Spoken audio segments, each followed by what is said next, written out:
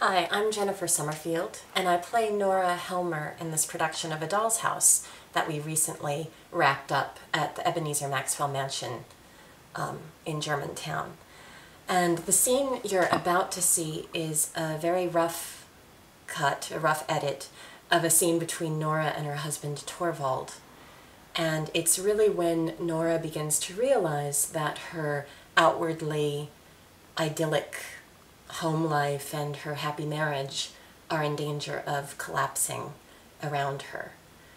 Um, she has a secret that she's kept from her husband for eight years, um, which is that she took out a loan to save his life eight years before. Um, but she's been happy in the knowledge that she made the sacrifice for him.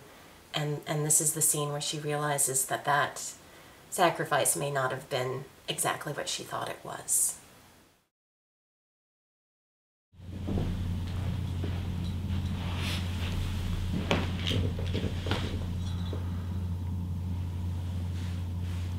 Has anyone been here?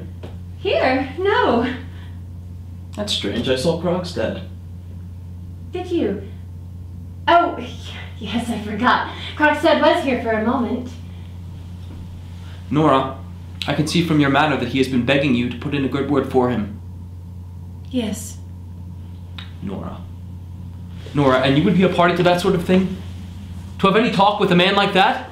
To give him any sort of promise?